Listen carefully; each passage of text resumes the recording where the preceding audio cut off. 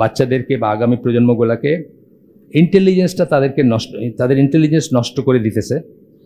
এবং তারা কগ in a machine বলে একটা কথা আছে ইংরেজিতে। কগ মানে হচ্ছে দাঁত।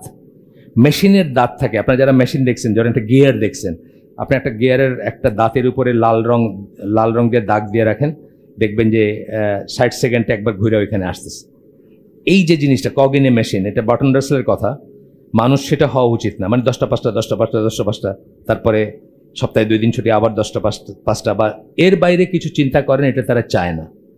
তারা চায় না, কারা চায় না? পৃথিবী যারা নিয়ন্ত্রণ করতে চায়, তারা চায় না। আপনার একজন আমেরিকান খেটে খাওয়া আমেরিকান, তাদের লাইফের রুটিন কি? নয়টা, পাঁচটা নয়টা অফ কাজে যাইতেছে, পাঁচটায় আসতেছে। আসার সময় ওই ছয়টা বিয়ারের একটা ই পাওয়া যায়। ছয়টা, চব্বিশটা থাকে তো ক্যারেটে, ছয়টা একসাথে আপনি উঠাইতে পারেন। ওই ই সব থেকে অফ লাইসেন্স সব থেকে বা মুদির দোকান যেগুলো ওদের, ওখান থেকে একটা উঠায় নিয়ে আসলো।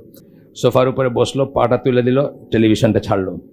একটার পর একটা ছয়টা বিয়ার শেষ করল, তারপর ঘুমায় পড়ল, সব পরদিন সকালে ওইটাই হয়তো বউ চলে গেছে, অথবা বউ ডিভোর্স হয়ে গেছে প্রত্যেক, ঘরে ঘরে এগুলো স্টোরি এই লাইফস্টাইল এই লাইফস্টাইলের ভিতরে চিন্তার কোনো অবকাশ থাকে না। মানুষ গবাদি পশুতে পরিণত হয়। এবং যারা নিয়ন্ত্রণ করে, তারাও এটাই চায় যে বেশি চিন্তার দরকার নেই।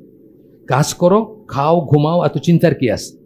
ইসলামে কিছু জিনিস কমন আছে এটার সাথে। যেমন ইসলাম ধরেন আউট অফ দ্য ওয়ে গিয়ে ফিলোসফি বা অহেতুক যে জিনিসগুলা, নিরর্থক জিনিসগুলা, যে জিনিসগুলো আপনাকে আপনার জীবনটা ওয়েস্ট করে দেয়, সেই সব জিনিসে গবেষণা করার ইসলাম চায় না। ফিলোসফি বা এই ধরনের জিনিস আছে না? মানে কবিতার জন্য কবিতা লেখা বা এই ধরনের জিনিসগুলো ইসলাম ই করে না মানে প্রমোট করে না। ইভেন ধরেন যে সেন্সের ডন হুমায়ুন আহমদ যা লিখে গেছে ইউজলেস কিছু জিনিস লিখে, খুব পপুলার মানুষ খুব শুনতে পছন্দ করে, মানুষের কি বলে হার্ট বা অন্তরে নাড়া দেয় বা মোচড় দেয়, ঠিক আছে? কিন্তু আসলে basically useless Islamic point of view থেকে।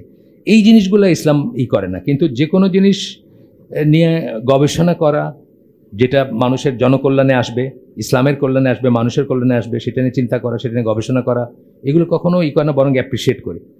এবং শিক্ষা দীক্ষা, বিরোধিতা করে না ইসলাম। আপনাদেরকে যারা বলে, অনেকে বলে যে, যারা এক্সট্রিমিস্ট গ্রুপ আছে, যারা বলে যে, মুসলমানদের শিক্ষা দীক্ষার দরকার নেই, মুসলমানরা উম্মি, নবীর, উম্মি, উম্মত, এরকম কথা বলে।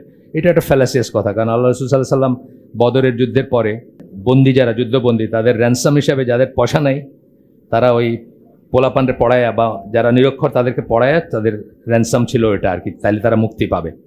এখান থেকে বোঝা যায় যে আল্লাহ রসুল সাল্লাম নিজে উম্মি হইল, লেখাপড়া বা ইকে অ্যাপ্রিসিয়েট করে গেছেন অলওয়েজ কিন্তু আজকাল তারা কি কি চায়? We also see it in education where there is a shift from teaching of objective facts আগে অবজেক্টিভ জিনিসগুলো আপনাকে শেখানো হতো এডুকেশনে অবজেক্টিভ মানে সাবজেক্টিভ না, একজন মানুষের মনের পার্সোনাল ব্যাপারগুলো না। যেমন ধরেন, তাপ দিলে পানির তাপমাত্রা বাড়বে। একটা বললাম যে অবজেক্টিভ জিনিস চোখের সামনে আসলো। এই ধরনের জিনিসগুলো শেখানো হতো তাই না? এখন কি করে? সেখান থেকে কি to what they call outcome based education আপনাকে এই কাঠমিস্ত্রি হওয়ার জন্য রান্দা দিতে শিখাইলো এক সময় আপনি আউটকাম মানে আপনার এখান থেকে আপনি কাঠের কাজ করতে পারবেন। এই বেসড এডুকেশন এটা কিন্তু আমরা না প্রফেশনালি কেউ কিছু শিখতেছে, আমরা না করতেছি না but this is not education কিন্তু। জ্ঞান অর্জন বলতে ইসলামে কী বোঝায়? আল্লাহর সম্বন্ধে জ্ঞান অর্জন করাটা হচ্ছে ফরজ এবং প্রথম জিনিস। আল্লাহ সম্বন্ধে নলেজ অথবা যা আল্লাহর কাছে নিয়ে যাবে সেই সম্বন্ধে নলেজ এই কাঠমিস্ত্রি হওয়াটাকে ইসলামে এডুকেশন বলবে না। একই বা- বা- ভাবে কম্পিউটারের আপনি ওই যা সেল করে, যা বিক্রি করে কম্পিউটারের সফটওয়্যার হার্ডওয়্যার নিয়ে আপনি এইগুলো- এডুকেশন বলবেন এটা হলো যে আউটকাম বেসড এবং তাতে কি হবে? আপনি সব কিছুকে পয়সা দিয়ে মাপবেন। মানুষকেও আপনি পয়সা দিয়ে মাপবেন। কে কত বড় আলেম, কে ই শেষ করছে, কে হাফেজ, কে আরও আরও বড় কিছু। আপনি সেটা দিয়ে মাপবেন না, আপনি মাপবেন পয়সা দিয়ে, কার কত পয়সা আছে সেটা দিয়ে।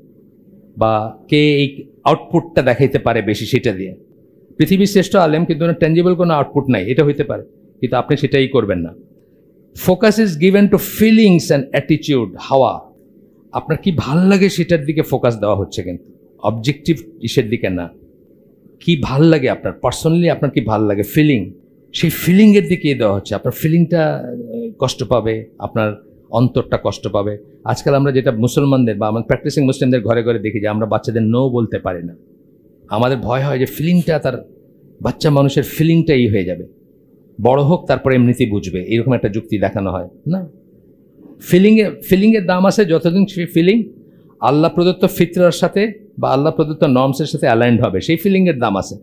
একটা বাচ্চা যদি উঠে বলে, আমার কেন সকালে উঠাইলেন আমি তো ফজর নামাজটা মিস করলাম। হ্যাঁ এই ফিলিংয়ের দাম আছে। কিন্তু একটা বাচ্চা যদি বলে যে তুমি আমার এই জিনিসটা কেন দেখতে দিলা না? ঘরে ঘরে সবাই দেখতেছে। বা এই খেলাটা কেন খেলতে দিলে না? পাবজি বা আরও কি সব আছে, যেগুলো এখন নেশা হয়ে গেছে আর কি। সেই ফিলিং সেই ফিলিংয়ের কোনো পাত্তা দিতে হবে না। সেখানে নো বলতে হবে। আপনি একটা জাজমেন্ট একটা একটা কি নেবেন কি নেবেন না, কি রাখবেন কি রাখবেন না, কি হ্যাঁ বলবেন, কি না বলবেন, সেখানে অবজেক্টিভ ফ্যাক্টর মানে যেগুলা ব্যক্তির জন্য স্পেশাল না, সবার জন্যই। যেমন ধরেন চুরি করবেন না, সবার জন্য প্রযোজ্য। মিথ্যা কথা বলবেন না, সবার জন্য প্রযোজ্য। কোনো ব্যক্তির চয়েসের ব্যাপার নেই। সেই সমস্ত অবজেক্টিভ জিনিসগুলো দিয়ে যে জাজমেন্ট আপনার একটা দেওয়ারই ছিল, এটা এখন আর নাই। এটা তারা অ্যাবলিশ করে দিতে চাইতেছে। ফিলিং দিয়ে এখন জাজমেন্ট হবে। সুতরাং আমি ফিল করি যে আমি ছেলে না, মেয়ে বুঝি না, এটাই মেন কথা। যদিও আমার হান্ড্রেড পার্সেন্ট ছেলে আমি।